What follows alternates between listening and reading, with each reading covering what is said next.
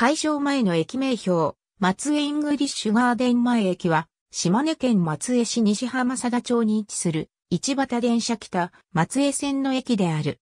駅番号は21。駅舎には、島根県立松江ろう学校の美術部が制作した絵が飾られている。かつては、古江駅という名称であったが、2001年、当駅近くに、ルイス・シー・ティファニー庭園美術館がオープンしたのに合わせ、ルイス・シー・ティファニー庭園美術館前駅に改称した。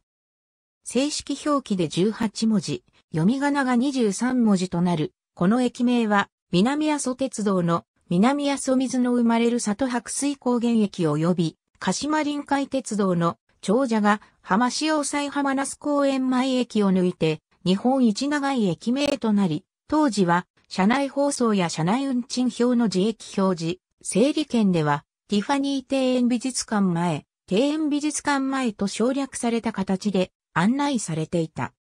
しかし、美術館は2007年3月31日限りで閉館し、付属していた松江イングリッシュガーデンのみが残った。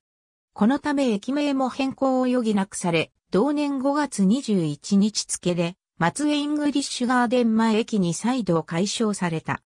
これに伴い、日本一長い駅名は再び、南阿蘇水の生まれる里白水高原駅と長者が、浜潮西浜那須公園前駅に戻っている。2020年3月20日に、京福電気鉄道北野線の東寺院駅が、東寺院、立命館大学絹笠キャンパス前駅に、2021年1月1日に、富山地方鉄道富山軌道線の富山トヨペット、本社前停留場が、トヨタモビリティ富山 G スクエア、五福前停留場にそれぞれ解消されたため、当駅の旧称を上回る駅名が現れている。島式ホーム一面二線を有する地上駅、無人駅である。構内の配線は一線する方式となっており、ホームへは西側の構内踏切から直接出入りする。松江イングリッシュガーデンイングリッシュガーデン前1日平均の乗降人員は以下の通り。1964年に浜佐田駅と古曽志駅を統合して誕生した。開業以来40年近くの間古港駅を名乗り、駅前のスーパー等は現在でも店名に古港を冠している。学校法人立命館と京福電気鉄道株式会社が連携、協力協定を締結蘭電北の線、東神駅が東神院、立命館大学絹笠キャンパス前駅へ学校法人立命館、京福電気鉄道、オリジナルの2020年3月13日時点におけるアーカイブ。https コロンスラッシュスラッシュウェブドットアーカイブドット org スラッシュウェブスラッシュ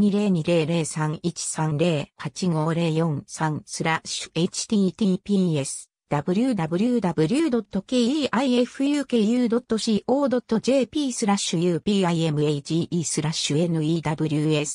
newsrelease スラッシュ1584073433809087760 PDF2020 年3月19日閲覧。停留場名の変更について富山地方鉄道2020年12月30日時点のオリジナルよりアーカイブ。2021年1月1日閲覧。出展島根県統計所 AB 寺田雄一。日本のローカル施設2000猫パブリッシング。2000年。270ページ。ISBN4 から873662079ありがとうございます。